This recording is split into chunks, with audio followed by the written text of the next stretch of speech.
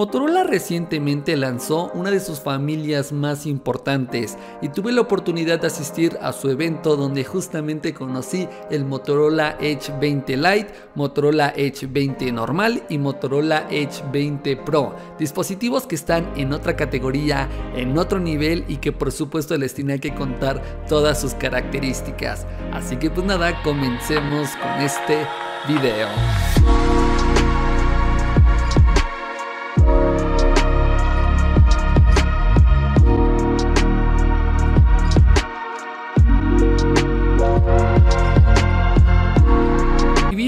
Que nada les debo decir que realmente todos estos equipos me gustaron mucho y especialmente esta familia me encanta por todo el tema de sus características que pueden competir directamente en la gama media alta o inclusive en la gama alta. Me parece bien interesante ya que realmente su fuerte de Motorola es competir directamente en la gama media e inclusive también en la gama de entrada. Pero bueno, les voy a contar rápidamente todas las características más importantes de los equipos. En este caso empecemos con el Motorola Edge 20 Lite. Contamos con unas dimensiones de 165,9 por 76,95 por 8,23 milímetros y un peso de 185 gramos. Contamos con una pantalla de 6,7 pulgadas con una resolución Full HD Plus y una tasa de refresco de 90 Hz.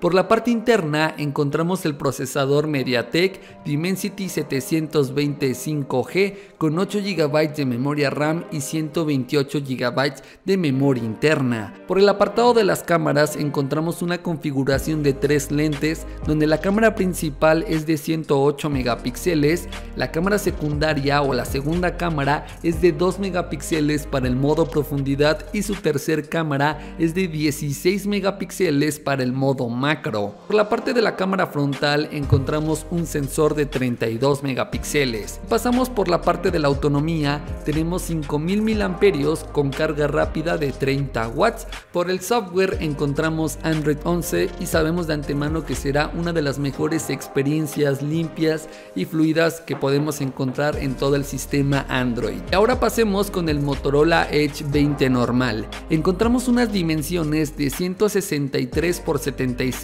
por 6,99 milímetros y un peso de 163 gramos. Por la pantalla encontramos un panel OLED de 6,7 pulgadas con una resolución Full HD Plus y una tasa de refresco de 144 Hz.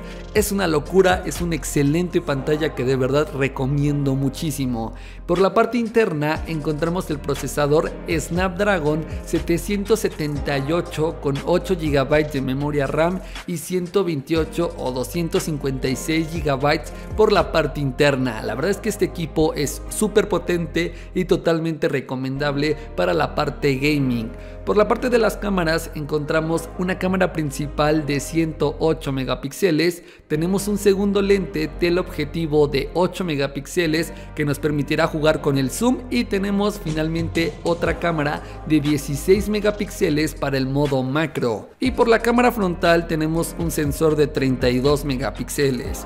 Si pasamos por la parte de la autonomía, tenemos 4000 mAh con carga rápida de 30 watts. Por el software tenemos Android 11. Evidentemente, cuando ya tengamos el equipo en el estudio, haremos todas las pruebas respectivas para poder darles una opinión más completa. Y bien, ahora pasemos con mi equipo favorito, el Motorola Edge 20 Pro. Encontramos unas dimensiones de 163 x 76 x 7,99 milímetros y un peso de 190 gramos.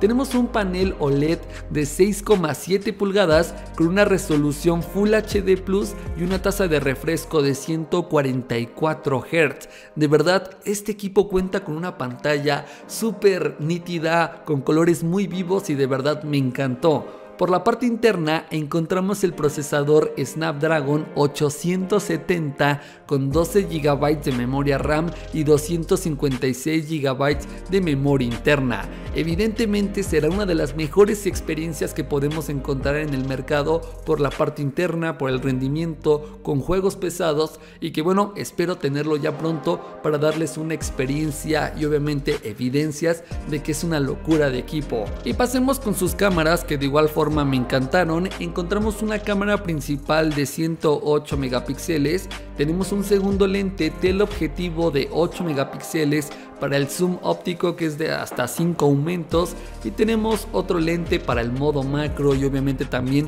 para el gran angular de 16 megapíxeles. Por la cámara frontal tenemos un sensor de 32 megapíxeles, por la batería tenemos 4500 mAh y carga rápida de 30 watts, obviamente por el software de igual forma tenemos Android 11. Así que bueno, realmente estas fueron las características más importantes de los equipos. Sé que todavía existen algunas dudas de por qué siguen llamándose Edge si ya no tienen esta pantalla curva. Obviamente en más días les daré un poquito más de información, pero bueno, pasemos con los precios. Motorola Edge 20 Lite tendrá un costo de nada más y nada menos que de 8.499 pesos mexicanos y Motorola Edge 20 normal tendrá un costo de 10.999 pesos mexicanos. Aún la versión Pro no tenemos un costo final. En los próximos días Motorola nos tendrá actualización del precio, pero de estos equipos me parece súper súper bien. Y la preventa de estos equipos será el 23 de agosto a las 9 am. De verdad les prometo que en cuanto tenga cada uno de estos equipos aquí en el estudio les daré un video más completos con toda la información necesaria para saber si realmente valen la pena. Así que pues nada, déjame aquí abajo en los comentarios qué opinas, los comprarías o no, todo todo déjamelo aquí abajo y por supuesto no olvides seguirme en todas mis redes sociales y activar la campanita, bien importante. Esto ha sido todo por mi parte. Muchísimas gracias. Hasta luego.